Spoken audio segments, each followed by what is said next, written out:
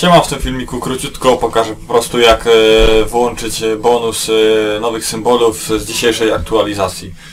Klikamy na, mm, na herb i tak, jeżeli na przykład, jeszcze coś pokażę, na przykład ja mam już 3000, osio- 3000 osiągnięć i myślałem po prostu, że jeżeli mam już te 3000, to nie będę mieć poprzednich zdobytych symbolów, bo, bo dopiero aktualizacja weszła, ale tak nie jest. Będziemy mieli wszystkie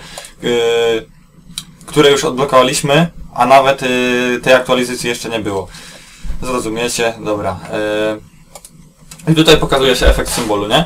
I widzimy, że nie mamy nic, y, bo tutaj się nie włącza. Symbole mamy tutaj.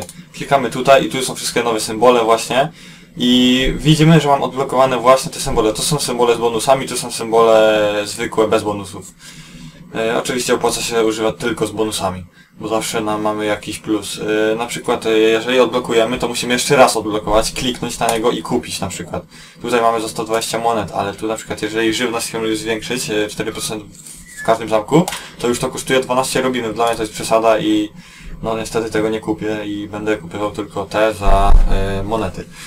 To chyba wszystko w tej aktualizacji. Oczywiście możemy z, zmieniać sobie kolorki za darmo i tak dalej, bo poprzednio to musieliśmy płacić 2,5 tysiąca rubinów za y, sam, samą zmianę kolorów tła y, naszego właśnie herbu. Mm, to wszystko. e, na razie. Pozdrawiam.